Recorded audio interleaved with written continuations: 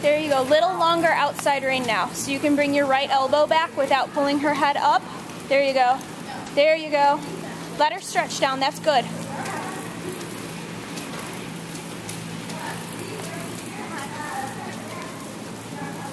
Keep that left bend. Tell her look left a little more.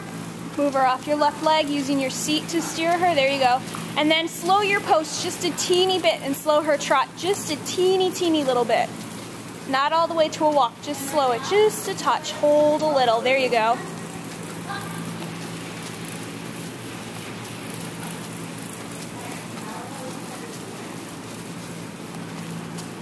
There you go, and then soften, allow her to stretch.